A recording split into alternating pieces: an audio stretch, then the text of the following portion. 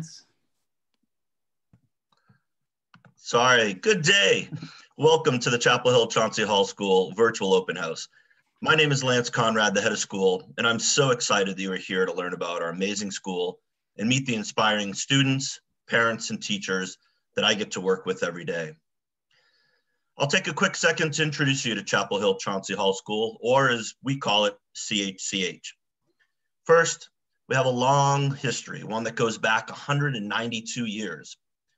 Our bucolic 42 acre campus here in Waltham is where Chapel Hill School for Girls began back in 1860. Meanwhile, in 1828, a all boys school, a finishing school in Boston named Chauncy Hall was founded. And then in 1971, these two schools merged to form Chapel Hill Chauncy Hall right here on our Waltham campus, a co-ed school serving students from the greater Boston area and borders. CHCH is a day and boarding school for grades 9 through 12, plus a few postgraduates. And usually about half of our students live here on campus, while a lot more um, than a little more than half of our other, other a little more than half of the other students um, will, will travel to campus from about 30 local communities. CHCH is one of the most diverse independent schools in Massachusetts with students from literally all around the country and the world. As you just saw in that video, uh, COVID-19 has impacted the CHCH experience this year. For example, we are not currently running our boarding program, but hope to open our three dormitories later this spring. Pivoting, many of our boarding students have opted to take part in an innovative host family program, whereby living locally with other CHCH families. In all, today we have 80% of our students participating safely in instructed on-campus in-person classes, while about 20% of our students are remote learners engaged in synchronous classes virtually alongside our on-campus learners. We are in constant communication with our families, both local and international, to make sure that students are getting the academic, social, and supportive college prep environment that will allow them to thrive, even during these challenging times. Our motto at CHCH is we teach the way students learn. This means that our entire curriculum is designed to meet students where they are, to leverage their particular passions and aptitudes, and to teach engaging, differentiated lessons both in and out of the classroom, all to reach our goal of allowing students to achieve their full potential on their road to college. Again, I'm pleased you joined us today. You'll be hearing a lot more about our unique approaches to teaching and learning throughout this open house. Enjoy, meet, enjoy meeting our amazing community and make sure to reach out with any questions that you have. I look forward to connecting with you soon. And now I'd like to turn things over to our Director of Enrollment Management, Lisa Pelrine, who will be highlighting today's agenda. Thank you. Thank you, Lance. Good afternoon, everyone. I'm Lisa Pelrine, Director of Enrollment Management here at CHCH, beginning my 19th year. Uh, so I have a lot of experience um, engaging in many open houses. However, this is our very first virtual open house. And so we've had to, like many other schools and industries, had to pivot and think of new ways to engage with prospective families.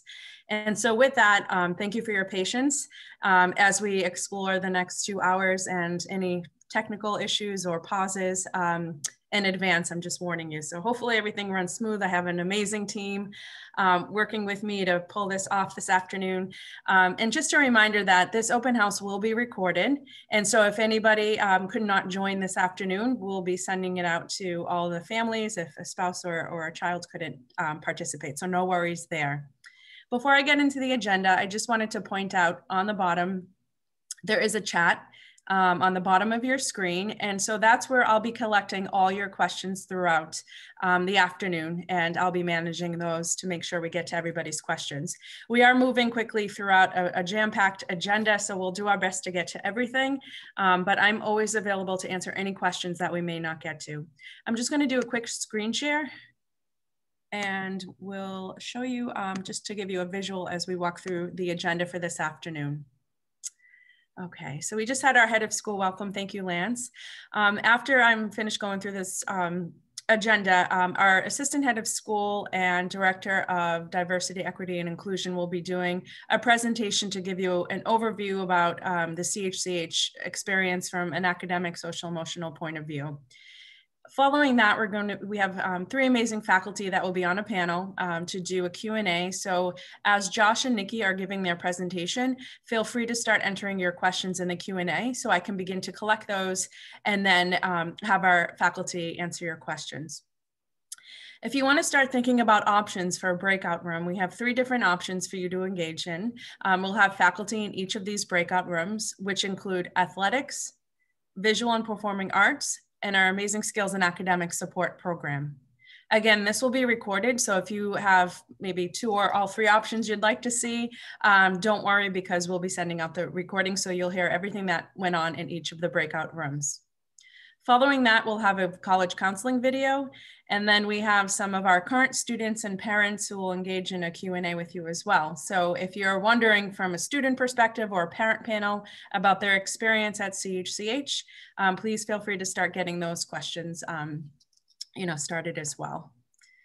And then I'll be ending with um, next steps, and then we'll be finishing with a virtual tour of campus led by one of our current students, or you'll have the option um, to participate in a financial aid and scholarship um, session with our Director of Financial Aid, Susie Horn. Many of you may have already done the campus tour. Um, so if you've already um, done one of those, you can feel free to stay or you can drop off at that point, but I'll, I'll be closing before that point as well. So that's the agenda for this afternoon. And again, thank you for spending your Sunday um, with us. And with that, I'm going to be turning things over to our Assistant Head of School, Josh Bubar. Thank you, Josh. Good afternoon, everybody. Uh, my name is Josh Bubar. Thank you so much for joining us this afternoon. Um, Nikki Turpin, who's our Director of Diversity, Equity, and Inclusion, is going to join me in a brief presentation where we talk a little bit about um, who we are as a school and use the using the acronym CORE to describe for you um, how we go about our day-to-day work with students. Um, I want to start real quickly with a little fast facts for those of you that maybe haven't dug as deeply into this. Um, we typically have around 180 students, um, an average class size of 10. 100% of our students are accepted to college, um, as is the norm in the, this day and age. Not all of our students go to college directly after Chapel Hill. Many of our students, some of our students will take a gap year to pursue a variety of other things. Um, we do offer honors and advanced courses. Typically 40% of our students are boarding. And we do have an athletic program that we'll talk about a little more later that is um, both really welcoming, but also pretty competitive, particularly in the recent past. Uh, so I want to talk to you a little bit about CORE and the acronym that we use to describe the work we do here with our students. And CORE stands for curriculum, opportunities, relationships, and empathy. And we think that these four elements really comprise uh, what makes up a CHCH education. When we talk about our curriculum, we're really talking about differentiated instruction that's, as Lance noted, meeting our students where they are, helping them leverage their strengths, their gifts in pursuit of an academic curriculum. Um, as a college prep school, we know that our students will all have to prepare themselves for higher, um, higher education. And in that setting, there is not always the kind of support that they'll get in a smaller school such as Chapel Hill Chauncy Hall. So one of the really important pieces of our curriculum is teaching self-advocacy and self-understanding a core, a key element of our curriculum is our schedule. You'll see here that our classes are 75 minutes long and they meet three times a week. A block, for example, on Mondays, Tuesdays, and Thursdays. D block on Mondays, Wednesdays, and Fridays, and F block Tuesday, Thursday, Friday. We really like this 75 minute schedule because it gives our teachers time to dive deeply with students into their material. We really focus on depth over breadth in our curriculum. And it also allows our students to really provide multiple entry points into all of the work they do with students, whether it's skill development or content acquisition. We really offer students a number of different ways to connect to what we're doing in the classroom um, and to further their skills and understandings based on the way that they are best going to under, demonstrate their knowledge and develop those core academic skills that they need to move on to college. Uh, I want to show you a little video we have. Um, this is an example of a long-term project-based assignment we've done historically with our history department.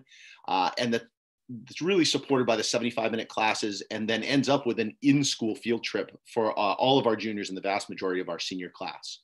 Um, this is our Senate simulation.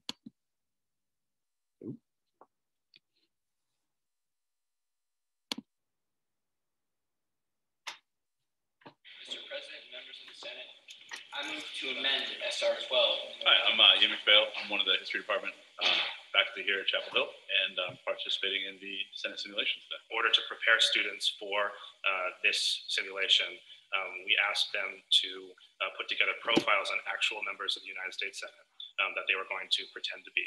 Um, after they put together their profiles, um, they were then asked to um, debate legislation that they actually created in real life. We are voting on different bills that many students have made up for themselves um, as senators, and we are kind of role playing the two party systems with the Democrats and Republicans um, and trying to balance our morals with our party beliefs um, and kind of seeing what actual real senators have to do on a daily basis. My beliefs are mostly Democratic, but I'm, I'm portraying a Republican candidate, and I have to really learn his learn um learn his beliefs, and I have to really be that person for a day. So I think that's really challenging, but really fun as well. For the Jordanian government scandal and are in need of our assistance. How would you feel if you were stuck in such insecure places at long periods of time? I love it. I love debating and, to be honest, arguing sometimes about these issues. I think it's really important to gain a really thorough understanding of how our government works, how we understand how decisions are made, how laws are passed, how bills are passed. And this is helping everyone, I think, get a great understanding of that. The Senate, I move to amend SR 12 in a way to help solve another massive problem facing America, which is the opioid crisis. Is it to just dismiss someone's views and be like, oh, well, I don't agree, so I'm not even going to spend time thinking about it? But it gives me a chance to think, like, why would someone think this and why would someone believe this, whether it be their upbringing or their state or their party or whatever. Like, there's a lot of contributors. Why can't we say air pollutants when we want to address climate change? It's a true thing. Air pollutants are true. They happen. I'm going to take away from this experience that uh, even in the Senate, which is something I think is so professional, that there's a lot of compromise and there's a lot of talking amongst the parties. And I thought it was very much black and white, but I've realized that there is work between the there's work between the parties, and that um, people do need to come to compromises even in their adult life to get things done. Say nay. Nay the opinion is chair, the nays have it. We're going to continue talking about 47.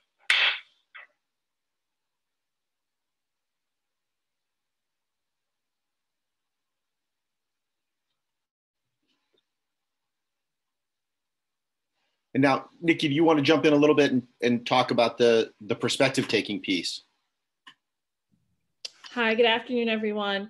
Um, so as you can see from that video, students were really able to dig into the topic. And so our 75 minute classes really allow for every um, topic and course to be able to take a real hard look at some engaging topic conversations, um, as well as gives us a chance to show multiple points of view, um, as well as different narratives. So that allows us to really have a full picture um, not just about curriculum, not just about one topic, but all of the topic viewpoints. Um, and so, as you saw from this, this, this allowed students to really take time to engage with how would the Senate actually run? How could you be bipartisan? How do you have those conversations across the lines um, while being in their role? Um, and it wasn't for just 30 minutes, it was a full block of 75 minute time for them to be able to share and think about how um, their role would be if they were there.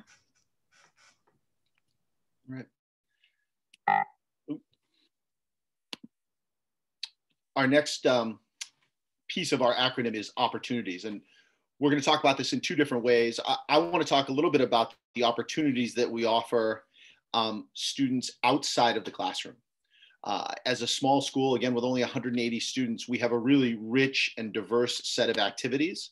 Um, all of our students participate in a co-curricular activity all three trimesters. So once the academic day is done, all of our students will head off into a different group, whether that's to play an interscholastic sport, participate in our theater program, either on stage or as part of our theater tech crew, um, or participate in some more non-traditional activities, such as our on-campus rock climbing activity. We think it's really vital that students engage in things with their school peers that are not academic. we find that that can be some of the richest areas for growth for our students. And we really find that many of our students, surprisingly, even to themselves, step out of their comfort zone. The nice thing about our programs is while we have students who go on to be college athletes, who go on to major in theater at the college level and theater tech, and we have students who do all sorts of different things when they leave us, there's also room in all of our programs for students who really just want to try something out. If you want to be on the stage, there's a part in the play for you. If you want to play soccer here at Chapel Hill, even after you dropped it when you were in third grade, there's a place for you here. And so we really think offer the best of both worlds um, for our student thespians, athletes, and others.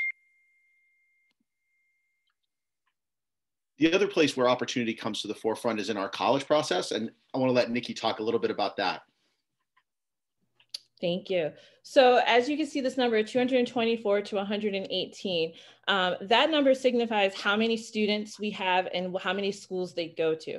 And that's a really large number. Um, and why that number is so large is because our college counseling, um, Brooke, really does a great job of finding the proper school for that student. Um, you know, she's not going to suggest a school where a student is going to be struggling um, or setting them up for failure, for lack of a better word. Um, she's really finding schools that makes that makes that student feel like at home and that they're going to be successful. Um, so we don't want our students to leave and feel that they're overwhelmed or this isn't the right home for them. We want them to go off to a school where they feel like Chapel Hill prepared me to be in this space, in this place. Um, and so that number is really great to look at and think about, you know, not just looking at us, but all the other schools that you might be looking at, is to really to see how many diverse schools are offered to students for them to have the place that they will feel their best success can happen. I also think we really value relationships here. Um, as the assistant head of school, really everything that impacts a student's experience here at Chapel Hill um, is kind of under my umbrella. And what that means is that's under my umbrella as well as the hiring process. So all the faculty, um, I'm part of the hiring process. And I want you to just maybe just take five seconds and think to yourself, okay, if I was hiring high school faculty and I could look through resumes, what would be the one thing that I would look for, that I would think is most important? All right, time's up. I don't know what your answer is, but I can tell you what our answer is and what my answer is. The one thing that will make a resume float to the top of our pile, and we get hundreds of resumes for every opening that we have here, is experience outside of the classroom working with students, particularly summer camp experience, theater experience, coaching experience, because those are places where we find our faculty are really invested in and love working with adolescents.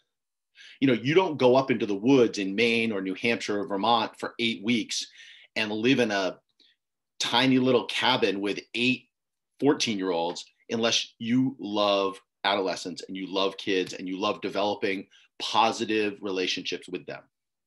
And so when we look for this trait in all of our faculty, what we find is that everything else follows from that. Their ability to develop great relationships with our students allows our students to trust them, to move forward, and to make the kind of gains in the classroom um, that we're all looking for. I have another little video to share with you. Um, it, it is an unbelievable example of kind of the lasting relationships we have with our students. Um, so I'll share this with you right now. Is it okay if we don't keep a letter on so you need a light? Uh, I don't think so. I need to play with that formality a little bit. Put it back in the application. So your affect in the classroom changed.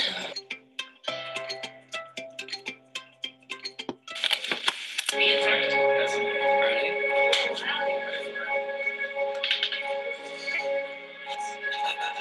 are you joking?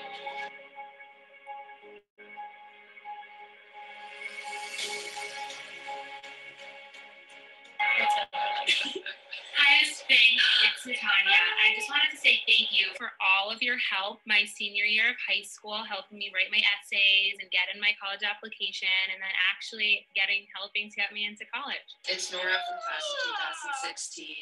I just wanted to say thank you so much for everything you did for me when I was at school and continuing afterwards. You were always there for me, and I really appreciate that. I'd like to say thank you to Mr. Castillo for always seeing the light in me. He always, he always knew who I was destined to like just be great. You taught me so much over my time at, at Chapel Hill, and you showed me what learning is all about, and you made school fun for me. And not only that, but you made learning a passion of mine. And I really value all of the care you put into your work because it makes me more inspired to uh, go forward and help others in the way that you helped your students. Um, and I'm really excited to return to Chapel Hill and say hi finally after months and months of promising to do so and see you and uh, just say thank you in person. That is incredible. Well, thank you for doing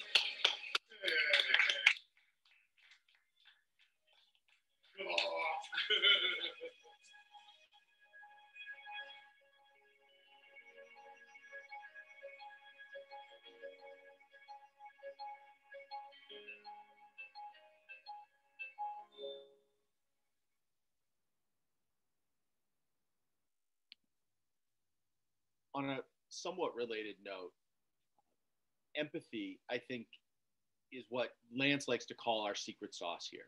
Um, when we reach back out to our parents and our alums and even talk to our current students, this is the word that comes up over and over and over again about the relationships that they feel with the adults in our community and with each other. And these are things that we really consciously try to develop um, with our students. Um, we do it through our community service initiatives, right? Where all of our students engage in community service. In a more typical year, we engage in it both independently. We ask our students to do a certain number of hours every year, but also in our grade levels and sometimes with even smaller groups with some of our athletic teams, some of our advisories, um, because we think that that shared experience um, with each other and then within our commu local communities is incredibly valuable to building empathy. Um, we also try to build shared experience through our spring session program. Our spring session program is a program that takes place in the last week of the academic year in May. We often hold mini classes where we leave campus. This, for example, was the civil rights journey, where uh, two of our faculty took a group of students down to Alabama to visit a number of uh, civil rights, important civil rights sites um, from our country's history. Um, but it can also take place on campus. Here, uh, here we have a group of students working together to make art together um, in one of our dormitories. And we just really find that this shared experience between and among our students, with our faculty and staff, with our local communities, is incredibly valuable to that perspective taking um, that we also try to engender in our academic program. Another place where we work on this is in our student life curriculum, which is our social emotional learning um, curriculum here at school. And I'll, I'll let Nikki talk about that a little bit. Great, thank you. So this being my first year, I was really happy to see that there was time blocked out as we saw in the schedule before for us to really do social emotional learning on the level of students understanding the world around them and then also being able to share their world um, so the picture right here is from our recent um, day of the dead um, day and we had Oz, who is one of our um, students here at CHCH, present about the day, day, of the Dead and what it means to her culturally. But then we were also able to come together as a community and build our own ofrenda. So we were able to also share people that we have lost um, with each other and come together as a community. Um, and this is just one of the many ways that I have seen um, us as staff, as faculty, and our students be able to really know and show an idea of windows and mirrors. And windows and mirrors is just a, a, way of saying that you show who you are. You are being able to show as a mirror, you'll be able to also be seen. Um, and so you're opening a door for others to come in and understand your culture and things that are important to you, as well as be able to see yourself reflected. Um, and this is also in our curriculum as well. We're really examining how do we make sure that every student feels that they are seen in the classes that they are in, not just in terms of the teachers calling on them, but also what we're reading, what we're learning about, what times and periods and eras are we looking at and examining, um, which really helps to expand um, how students are able to know how they learn is also feel comfortable knowing being able to say i learn and this is how i learn and this is how i see myself and want to present myself to my classmates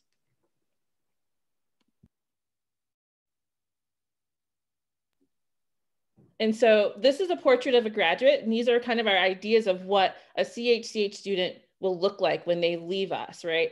Um, and so it's this ability to communicate, right? Understanding how to communicate back and forth. And it's something part of our SAS class that we use to teach students how to communicate with their, you know, their teachers or to work on something that they're behind on. How do you, how do you communicate what you need? Um, which also allows this idea of being able to creative, right? So creativity, um, cultural fluency, and again, that goes back to our ability to have student activities and student life programs that really show other, other windows into other worlds um, and other cultures. Um, being understand your academic habits, which is how you're successful, right? I am not a morning person. I am much better at night. And so if you tell me that I have to do something at five o'clock, it's probably going to be better than 8 a.m., right? So I can say that to, to, to, people being of the age I am now. But when I was in high school, I wasn't very confident in telling my teachers, hey, I need an extension because I just couldn't get this done. It's not, it's not working for me. Um, so really also showing students how to best use their time and time management. Um, community engagement we're starting right now our, our own community projects with philanthropy. So making sure our students understand why it's important to be engaged in your community not just um, being there but like actually putting yourself out into that world and you know helping others collaboration um, we see our students being able to do group projects together and really take on oh i'm great at doing this part. How about you take this part? And i'll do you know the written form and you do the actual slides and setting up because you're such a visually aware human being. Um, as well as also talking about how social justice minded our graduates are. Um, we just left we had a class leave that really understood how important it is to speak up and not be silent when they're seeing um, forms of injustice happening. Um, and that's something that's really important um, for us as a society. And so we want to make sure that we're sending out the best possible human being into the world that can help and actually make change happen. Um, and that they also understand that they're learning for the love of learning and it's not just to re you know re-give back to a teacher what the answer is but to really engage in um, the topic and um, understand why it's important, and then relate to it as well. So I, I hope this give, has given all of you a, a, window into the work we do here at CHCH. And I would really encourage you as you go through your question and answer period today, as you have a chance with student and uh, parent panelists, with faculty, to think about the core of who we are, the curriculum, the opportunities, the relationships, the empathy that is present here, and really, I think what you're going to hear are variations on the same theme that Nikki and I were able to at least show you a little bit of today. Um, so again, thank you so much for joining us. Um, thanks for taking the time. I think you're going to really enjoy today and really come to know us much, much better. Um, so have a great day. Thank you, Josh and Nikki. All right, uh, so I have um, three faculty joining us for the Q&A portion of this panel, and I'm just gonna ask each of them to briefly introduce themselves and what they do here at CHCH, and I've taken note of everyone's questions, um, so we'll get to those in just a moment. Um, so Jenny, I'm gonna ask you to go first, please. Sure. Hello, everyone. Um, I'm Jenny Cook. I'm the chair of the science department. I've been at Chapel Hill for eight years now, um, teaching in both the science and skills and academic support departments. Um, I lived on campus for a number of years and I've been involved in coaching through our athletic program. So nice to see all of you and looking forward to hearing your questions. Thank you, Jenny. Um, next up is Christine. Oh, Christine, you're muted. there we go. Can you hear me now? I can. Thanks, Christine. Thank you. Hi, everyone. I'm Christine O'Brien. I'm the chair of the World Languages Department. Um, so I teach levels two um, and advanced um, in Spanish. And I also live in Worcester Hall, which is a boys' dorm. And I also am in charge of um, coordinating weekend activities for our boarders. Nice to meet you all. Thank you, Christine. And last but not least is Michael Spencer. Hi, I'm Michael Spencer. I am the chair of the English department. This is my 12th year at Chapel Hill Chauncy Hall School. Uh, I've been teaching uh, English 9 uh, for with freshmen every single year I've been here and also several uh, different uh, senior English courses as well. And I've also been uh, a member of the instructive faculty for our after school drama program. Wonderful. Thank you, Michael. Okay, the first question is for uh, Jenny. Um, can you tell us a little bit more about the science curriculum and labs that you offer? And then um, second question that came in, I can also have you answer as well. Is there a computer science program and students um, to have the opportunity um, to really dig deep into that? Sure. Um, so we do what we call integrated science at Chapel Hill. Um, so for the first three years of our curriculum, rather than focusing on one um, particular science, we look at sort of the intersections between our different fields of science um, and really focus on building the skills of, of thinking as a scientist and collaboration. Um, so freshman year, physical science and engineering.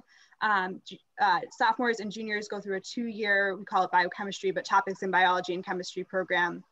And then seniors um, are able to choose a, a, topic to focus on. So we offer advanced physics and chemistry, AP environmental science, astronomy, and then anatomy and physiology. Um, and then certainly there's room for students to pursue um, areas um, that they are interested in. We don't currently have a computer science program, um, but that would be something for a student to um, get in touch with a faculty member that they're close with and, and work on an independent study. Um, so I'm, I'm doing an independent study this year in AP chemistry for one of our students. She went through all of our chemistry classes that we offered and, and wanted more. So that was a way that she's pursuing that further past what our traditional curriculum offers. Um, and then just briefly, I would say that all of our classes are laboratory or investi investigatory classes. Um, we really focus on activities and getting the kids to, to do hands-on learning um, versus lecturing.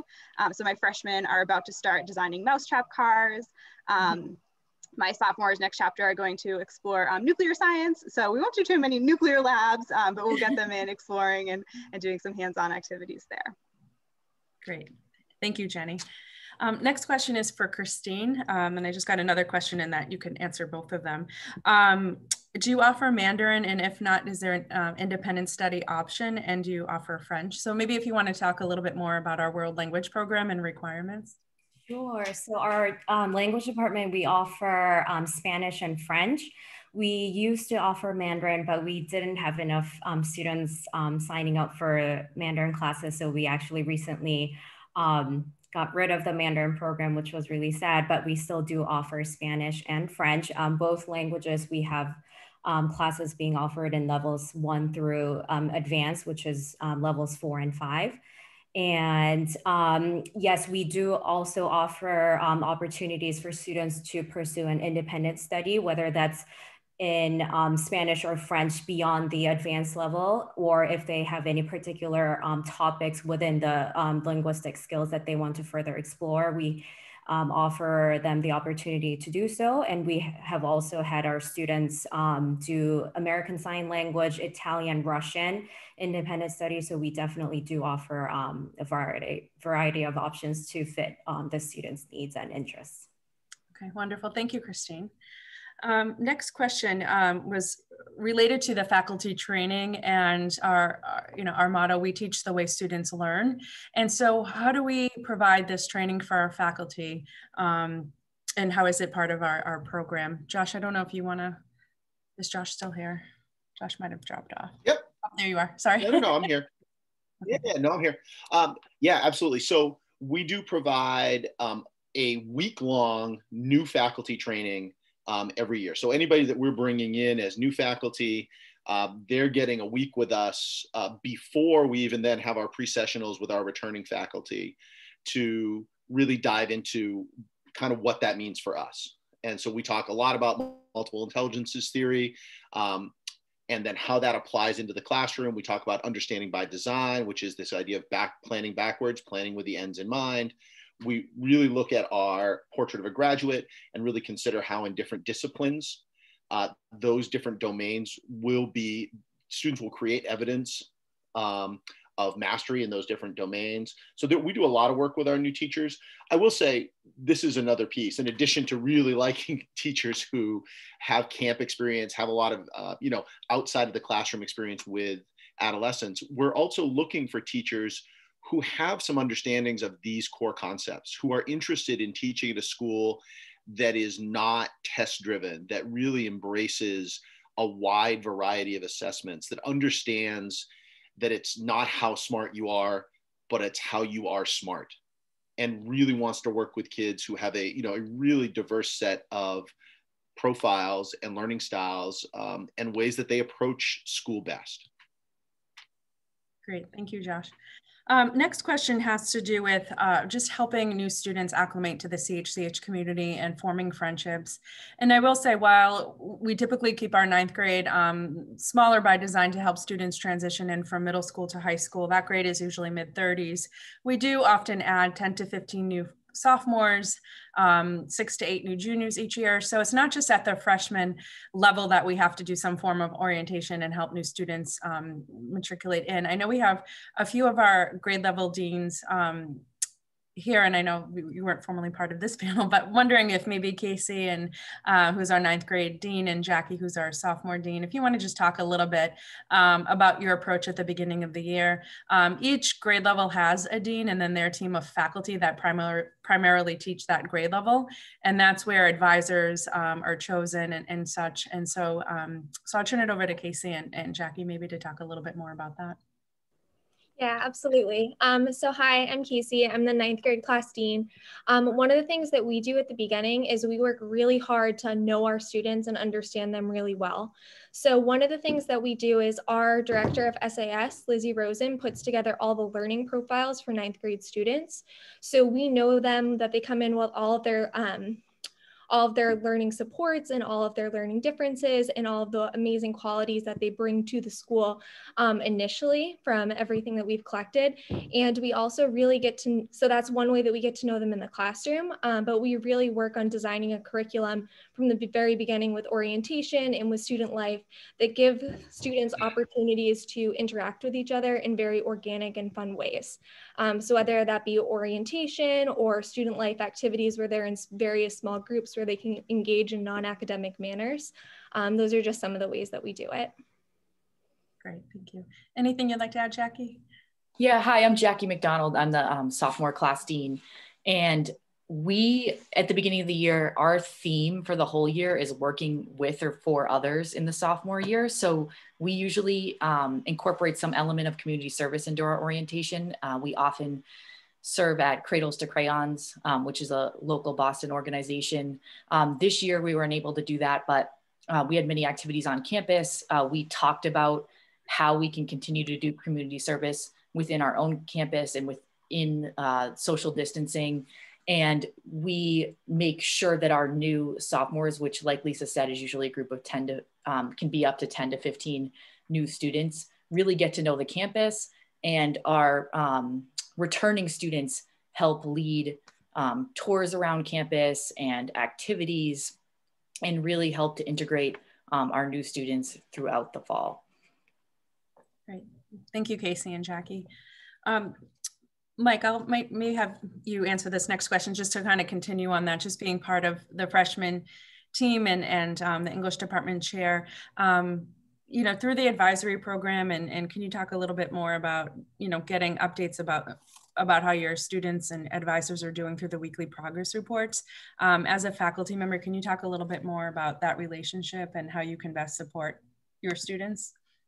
Absolutely. So um, every week, um, I, as an advisor, have my set of four to five uh, students who are my advisees, where we sit down and together we go through uh, weekly reports that they've gotten from their teachers about how things are going. And uh, one thing that I try to emphasize with them as an individual student is that this is a space where I am not sitting with them right now as their teacher. I'm there as their advisor and someone that they can sort of just talk about really how things are going um, academically or other factors, you know, that are going on with them because my job right there is to make sure that they're in a space where they are feeling supported, that they are feeling empowered, that they're feeling like they can start to advocate for themselves and get what they need.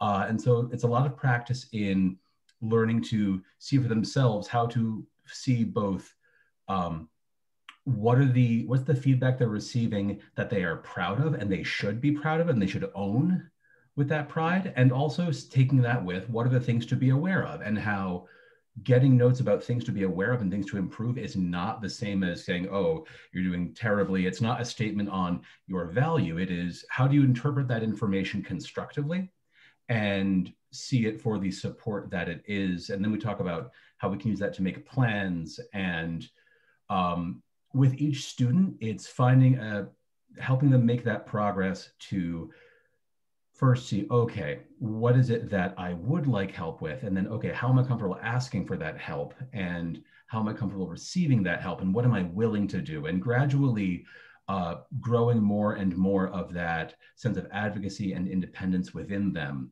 uh, to really help them feel empowered as a learner and as a human being. Great, thank you so much. Um, the next, we got a, a few questions um, and we will have a breakout room on our skills and academic support program.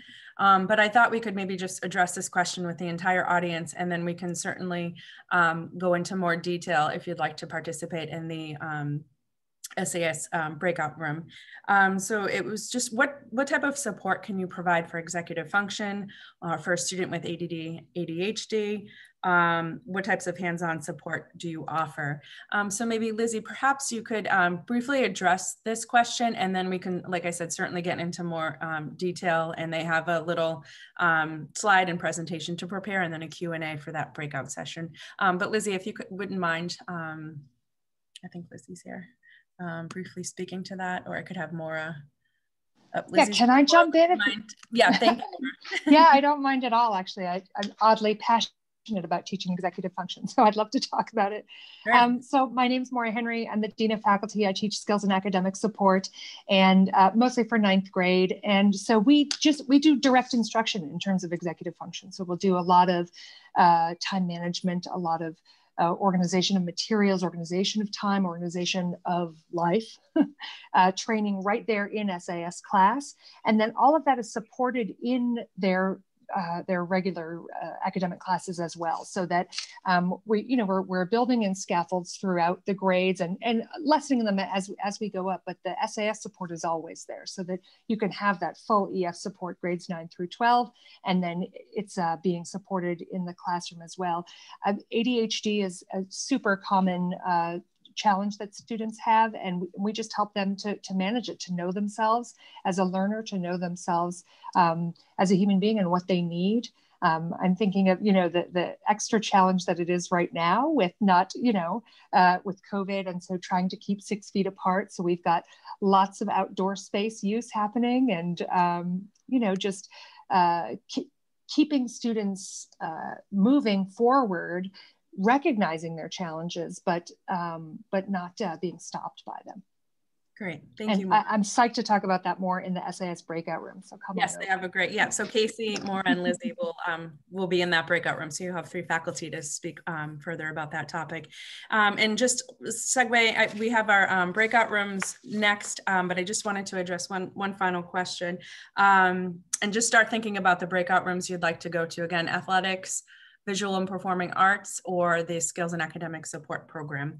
Um, and so what I did want to mention that, you know, during the application process, we, we are looking at the whole student, you know, we're evaluating students from, from every angle, from, from academic to a social emotional point of view, and how can they be positive members of our community.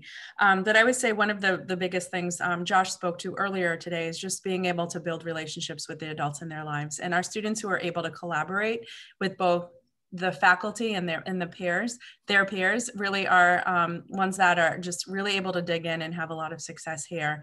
Um, we also do accept um, a neuropsych report. So if students have um, testing within three years, um, we can certainly take that and evaluate um, a student because we are at the end of the day a college prep school um, that has um, you know really challenging courses, but we also have that layer of support through the SAS program. So I'm happy to speak with you directly if you have more um, questions about specific criteria.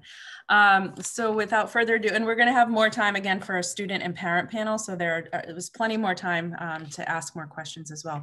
Matt, so families have the mm-hmm. option, right, to choose yes their own breakout room.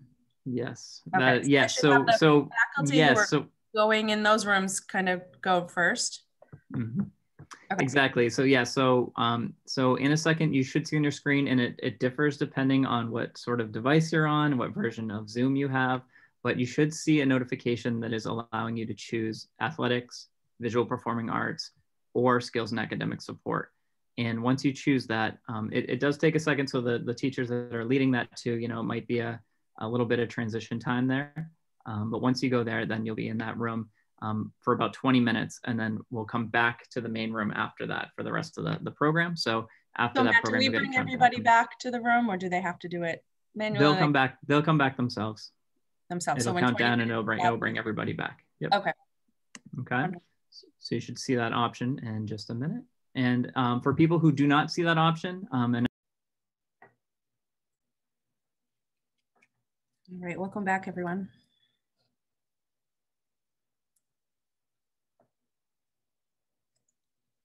All right, just gonna take one more minute to have everybody return to us.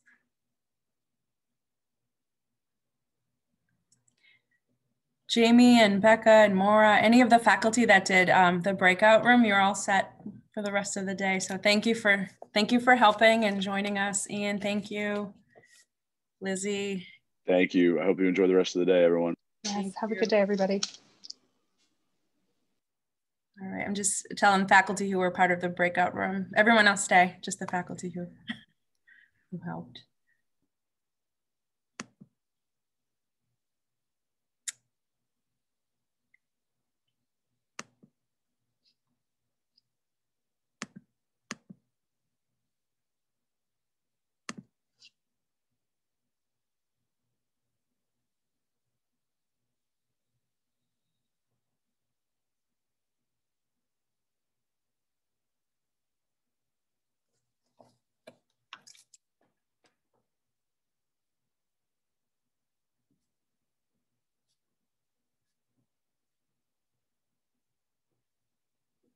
We're back. And we're back, Lisa. Back. Okay, perfect. All right. Um, so we're going to just have a quick clip um, from our Director of College Counseling, Brooke Fink, and then we're going to follow that up with a student and parent panel. So like before, you can begin uh, entering your questions in the chat, and I'm making note of them now. So, all right, over to Matt to, to launch the video. Hi, I'm Brooke Fink, Director of College Counseling at CHCH. Our individualized approach to post secondary planning is centered on finding the best fit schools for our graduates. We are proud that 100% of our graduates are accepted to college, with over 80% enrolling in one of their top choice schools. With a focus on fit, our students identify the criteria that are important to them, going beyond the basics of size and location, and thinking about opportunities they want access to, and the culture and learning environment that will give them a balance of happiness and challenge. Last year, our students applied to over 200 colleges and universities.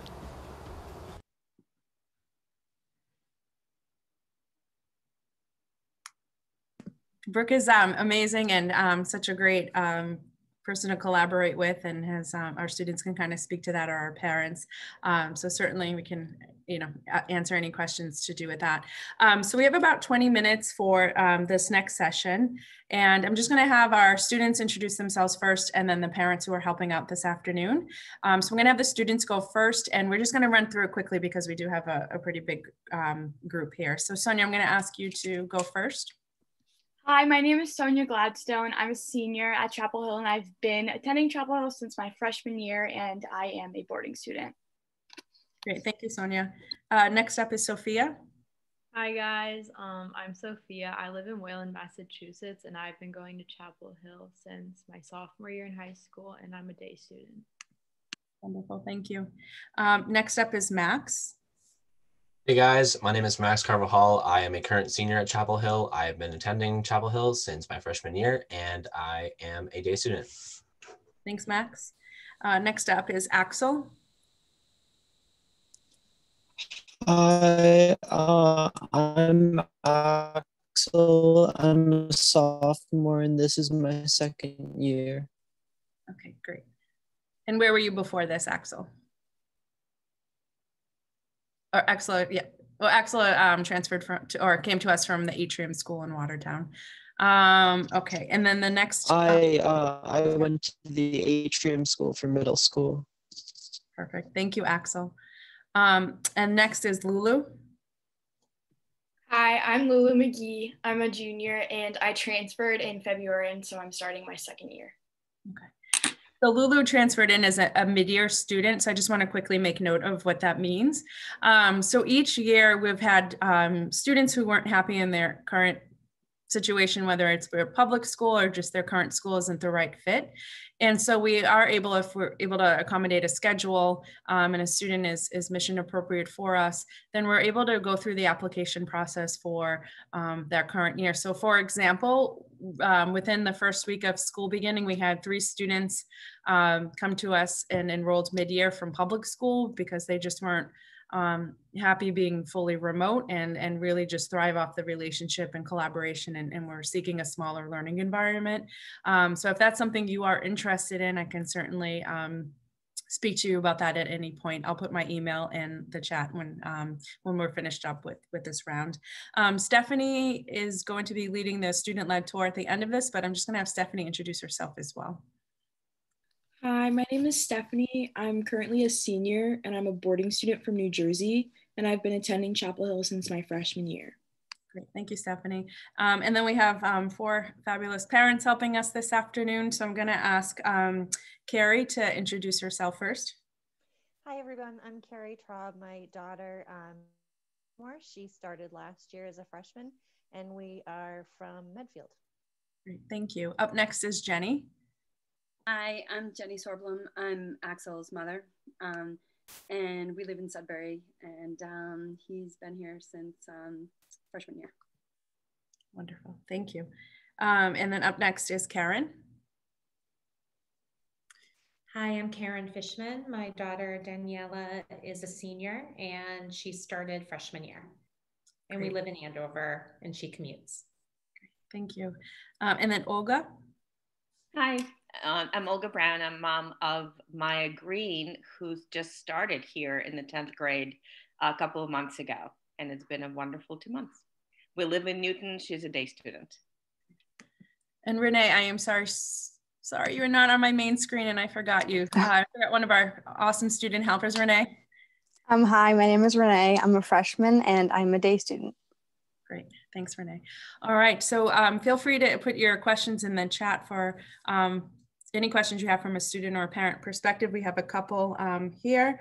Um, what is the social life, life like as a boarding student? And then I'm also going to have the day students speak to that too, because um, they get to participate in everything as well. So um, Stephanie, since you're an out-of-state boarding student and you've been here for four years, can you, can you speak to that? Um, for me personally, I felt very welcomed by the boarding community. I mean, like, once you move in, a bunch of girls are helping you, like the RAs. They help you bring your stuff upstairs. And I even had like boarders who had just moved in as freshmen help me. So, like, you really get to know your classmates in such close quarters. And all of the girls that I've met through the boarding program are like the closest friends I've made at Chapel Hill. Right.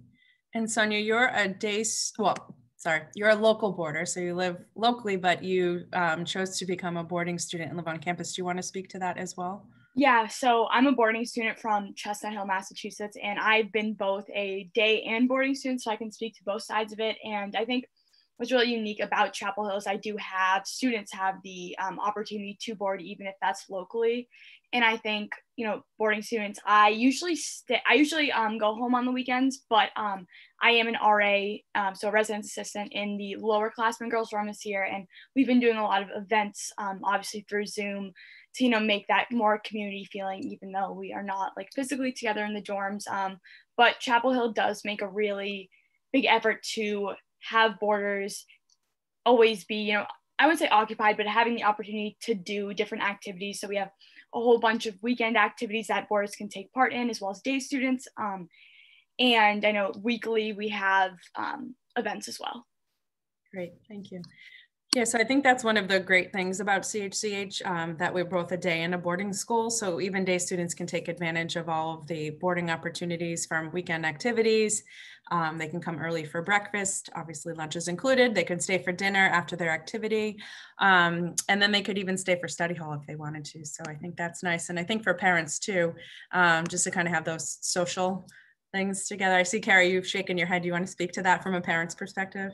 Sure. Um, it's great. I think that I my daughter is a day student and she would um, come early because you know we had work schedules and carpool schedules and have breakfast.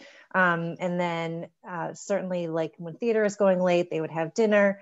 Um, I know that this year she was planning before COVID, she was planning on because she's not in SAS this year using the um, study hall at night to you know with her homework if she needed it so it's just so nice having the flexibility and the options on the weekend to have that social time if if if your student wants to take advantage of it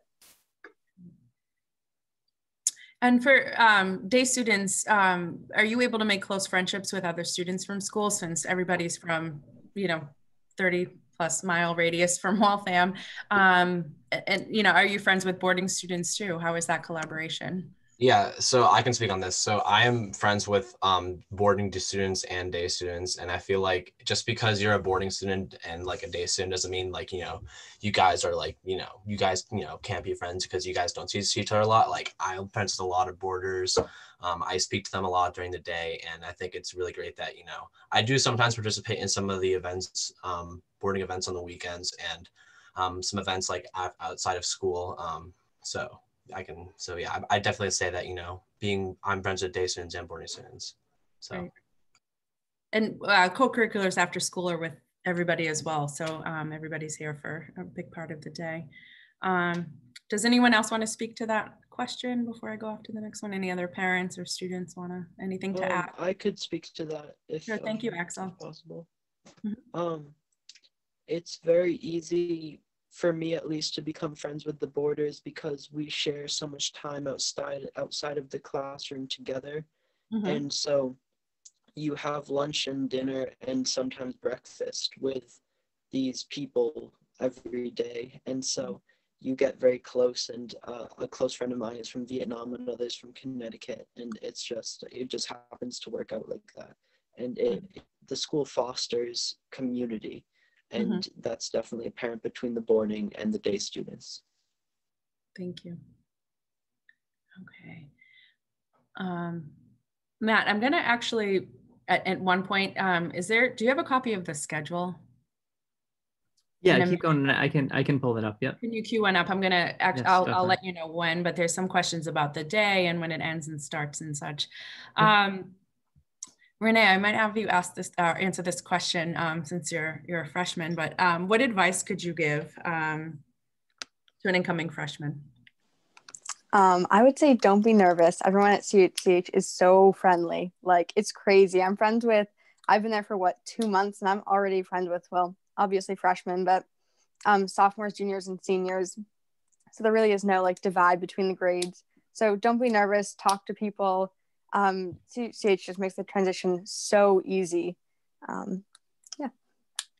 If, if, I could add on to um, Renee's yes. a little bit, so I actually just did this with Renee on Friday, um, but I started a program at Chapel Hill for um, just kind of mentoring. So last year I started in the um, the spring when we were fully remote, just because obviously we were just seeing people from our classes, and um, so another senior uh, now senior and I um, created a program. It's kind of a mentoring program for the freshmen, as I said. So we hold groups basically every Friday. It's been a little odd since you know we have all the college stuff. So we've been able to do two this year, and we're going to continue for the next couple of Fridays.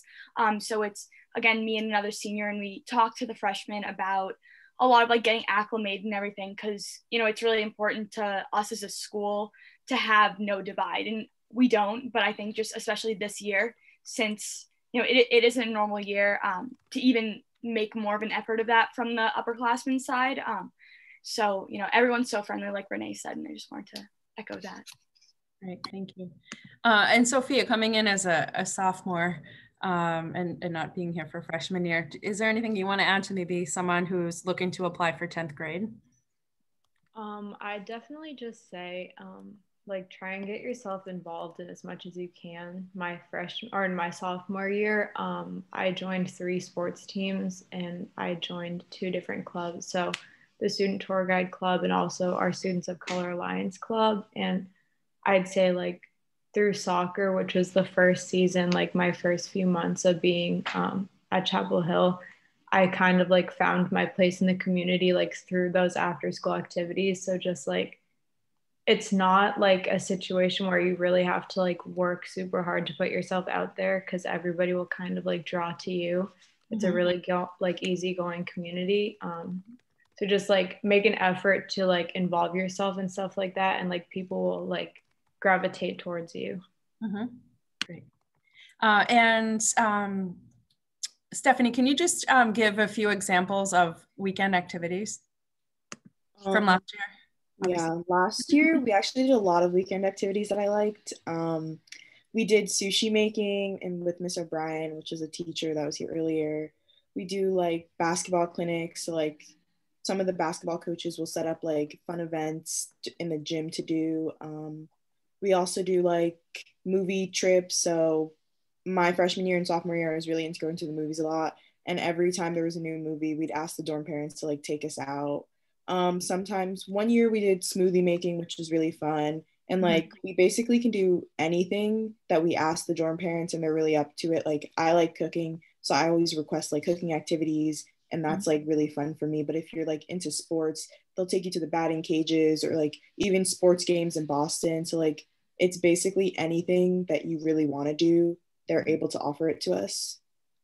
And Christine O'Brien, who joined us earlier um, for the panel, she oversees all the weekend activities. So she collaborates with the dorm parents who are on duty for that upcoming weekend, as well as the residential assistants, which are student leaders within each dorm to do um, weekend activity planning.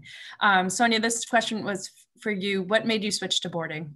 Yeah, so that is a great question. I love answering that question. Um, so freshman year i started off as a day student um, but it was always kind of a like kind of a thought in the back of um, my family and my head to you know transition to boarding. I know that's a question we um, discussed with mrs Pelrine during my interview. I remember that so vividly um, but we ended up deciding that 10th grade would be a good time um, to switch over to boarding just because the work did um, pick up a little bit and I've always struggled a little bit with time management and executive function. So the laid out time that I had for study hall um, has been honestly like life changing. It's been so helpful for me to get my work done then. And, um, you know, again, I think it's also just a, a, big community thing. It's, it's an awesome community to be at all the time. And, you know, coming in as a freshman, I never thought I'd say that, but, you know, it is the truth and it's such a good place to be.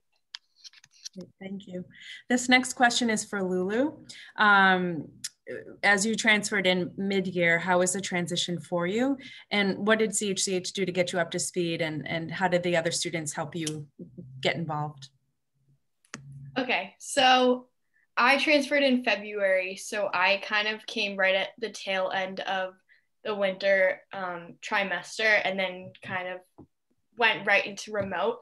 But the school did a really great job making sure that people knew who I was. Um, there was one girl who was in a lot of my classes and she kind of helped me like find my way around the school. Um, I also developed a really good relationship with a couple of my teachers that helped me a lot. So I think the school did a really good job of just acclimating whether you're coming in the beginning of the year or in the middle of the year, they make sure that you have a good transition. Great, thank you. Um, for the parents, uh, how, how does it work with the commute and other opportunities for carpools? Like I know Karen, you come from Andover, Jenny, Olga, like anyone, does anyone want to? I'm happy to talk about that. Yeah. Um, we, we live in Newton, so it's not a big commute, but it would be, you know, we thought it would be nice to find someone else. Uh, there was ex- extremely fast um, communication between parents when the information was shared. Um, and from day one, basically, um, Maya and um, uh, so Maya's a new sophomore and she's um, carpooling with a freshman. Mm-hmm. And that also, you know, creates a lot of cross uh, communication between people and groups and getting to know other kids. So it's it's working really well. Mm-hmm. And I'd like to actually say one more thing. Sure. Um, you know, it's interesting to hear the kids who've been at um, CHCH for a few years because as a new parent, all of the activities that are done throughout the normal year are not necessarily available in the evenings and mm-hmm. uh, boarding, etc. But even with that, there's been an incredible in, in two months. There's been been the kids are really held really warmly and there's a, a lot of camaraderie. And it's you know visible as a brand new student or a parent of a brand new student so. Great. Thanks olga. Karen is there anything you wanted to add? Um, I think just the only thing I would add, we had a similar experience is um, we carpooled for the first three years And um, the list through the admissions office was very helpful to um, that you all were sending out um, to um, help us strategize and reach out and connect with other people in the community who could be potential options to carpool with. And I think, um, especially Daniela's freshman year, it was wonderful for us and for her to um, carpool with upperclassmen. Mm-hmm. And um, that gave her another layer of support in the community and entree into the community. Mm-hmm. And um, it was just, it was just a wonderful experience, and it helped to yeah. carpool families. Give you a break. Um, Matt, do you mind just sharing your screen really quick? I just want to highlight the schedule again, just to show when when classes begin, when the day ends, and how co-curriculars work within that. So here, here's our schedule. So each each day begins at 8 a.m. except for Wednesdays. We do have a little bit of a later start at 9:05. However, our dining hall does open about an hour earlier. So for those parents that need to get to work or do other drop-offs, um, there's a a place for students to grab a bite to eat and just kind of hang out with their friends before they have to get off to their um, their first period class. Um, so on Monday, Tuesday, and Thursday, our students have four classes. So the day ends at three o'clock. And on Wednesdays and Fridays, um, the day ends at either um, 2.45 or 2.15. And so they do have about half hour when classes end and then um, go off to their co-curricular. So again, co-curriculars are um, something that we ask all of our students to participate in Monday through Friday for about an hour and a half to two hours, depending on what um, your student participates in. If it's a if it's a sport, then we typically have games on Wednesdays and Fridays when it's a bit of an earlier day. Um, lunch, I'm sorry, well, obviously lunch is included, but dinner is from 5.30 to 6.30. Um, so students can stay um, for dinner and get picked up after. And if parents are stuck in traffic or have another commitment, then they could always participate in, in the evening study hall, which runs from 7.30 to 9.30, even if they wanted to do the first, you know, 45 minutes or so. So there's always a, a place for our day students to go. It's, um, you know, we basically just ask them to leave campus when it's um, time for our boarding students to be in the dorm and check in at 9.30. All right, thanks, Matt. Um, and then, sorry, I just answered that. I'm just going through. Um, and then if, um, if maybe um, Jenny, if you want to talk and then maybe have the students um, speak to this as well, just kind of, there are so many independent schools in the Boston area. Um, you know, how did you approach your search and kind of what, what stood out to you um, about CHCH? Um, so Axel, um, and uh, we've three children, and um, Axel's the only one at um, CHCH, but um, they all went to independent schools since kindergarten. And um, so we looked a lot. And um, for Axel, we were looking specifically for um, a school that that had the support that he needed for his learning differences, but also um, just because of the kind of person Axel is, a really academic place, a, a true prep school and we were having a lot of trouble finding um, a school that wasn't all support or all prep school. Mm-hmm. and um, there weren't too many in between. So we that really appealed to us and that that really has been the case for us. We we um uh, so last year axel had um, the academic support for freshman year and it, it was incredibly helpful to have that along with classes that were weren't um, catering to kids that were all that needed needed support completely. Um, and so then th- this year that that support was so helpful that this year um, he doesn't need that. And that space in his schedule opened up um, to all these new classes and and time in his his schedule. So the um the individuality in the scheduling and in in what what each kid needs has been so um so great for us. We've really really liked that a lot. Um and and when we were looking at the school that's that's what appealed to us too. We were hoping that it wasn't just on paper and it has been the case that that's what we were looking for that's what we found. Mm-hmm. so we've been super pleased with that. Great. Thank you. I know we're getting short on on time. I just wanted to cover a couple different questions here. Um, and uh, Lance, remind me how many of our staff live on our faculty and staff live on campus? That was one of the questions for the dorm. Yeah, we have about about 35 um, of our faculty and staff that live on campus, and there's 70 employees at the school. Okay, great. Thank you. Um, and then are there other opportunities as far as clubs for um, students of color or students interested um, in LGBTQ? Do one of our students want to answer?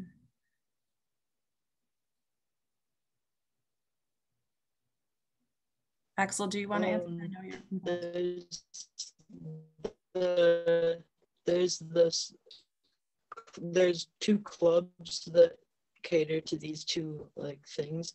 There's Mhm. SOCA or open spaces for students of color and students who are members of the LGBTQ plus community to come and find like a safe space and uh, a space to just talk, do activities.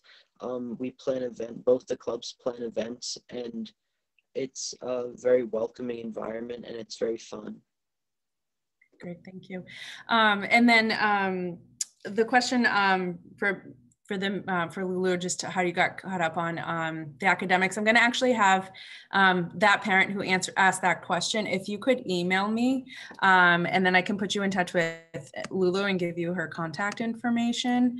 Um, that would be great. And then. Um, and then what else do we have? And then the independence study, um, Sonia is actually doing one. Sonia, do you want to just speak briefly to that? Yeah, absolutely. So last winter, um, you know, college search started, you know, college was introduced and um, I always wanted to work in healthcare. Um, not sure which one, but that's, you know, different story. But I was able to do an independent study with our athletic trainer and um, shadow her and, you know, just help her with basic things. Um, I was able to get re CPR first aid and AED certified and kind of followed her around. So there are so many opportunities for that, not just that, but just in general. Okay, great. And we have um, amazing information on our website due to um, COVID and how we are dealing with that and approaching that. Um, Lance, do you mind putting in the chat the, the link to that? Um, Lance um, did a, a, lot of work with this with the administrative team and we have several documents and videos um, available on, on our approach to um, in the classroom, outside of the classroom, how we're approaching our co-curriculars. Um, that's a pretty lengthy um, answer to that question. So I just want to make sure that everybody knows if that's uh, available um, to you and the link there. Um, and then the last question I'm just going to cover really quick. Maybe Sonia, I'm sorry, Sophia, you could answer this. Your um, your commitment as far as um, being an athlete and how do you get all of your work done? And what is your activity or activities off season? So I'm a three season athlete at Chapel Hill. I play soccer pretty competitively, so I've also been playing on a club indoor soccer team. Um, so that happened during the winter. I can like speak on that because I also was doing basketball at the same time. So I would go from basketball practice right to my soccer practice. Um, and I found that in terms of like the workload, the teachers are very like willing to give you time in class since the block times are so much longer. Um, they're 75 minutes. So I found that the majority of my homework was actually getting done during the day. Um, I also utilized my office hours. So by the time I got home from my after school activity, which was basketball and soccer, um, I think I had maybe at most 45 minutes of homework. Um, the commitment to the sports at CHCH are we do have practice or a game every single day. This year it's just been practice. Um, but I don't think it's that hard of a commitment just because we do practice right after school. So it's not like we have a bunch of waiting time in between. So it's pretty manageable. Um, but yeah. Okay, great.